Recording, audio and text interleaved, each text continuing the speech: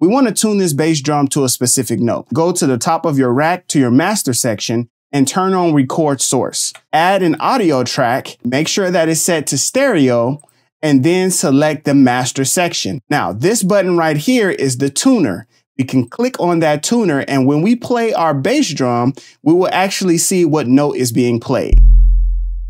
The note that's coming up is an F we're going to simultaneously adjust our pitch, check the tuner to make sure that we are getting a C. We want to tune this 808 so that it is in the pitch of C. The reason why we want it to be in C is so that when we load it into our sampler and we're playing it on our MIDI keyboard or in our piano roll, it will transpose correctly to the correct corresponding pitches that we change it to in our piano roll or on our MIDI keyboard.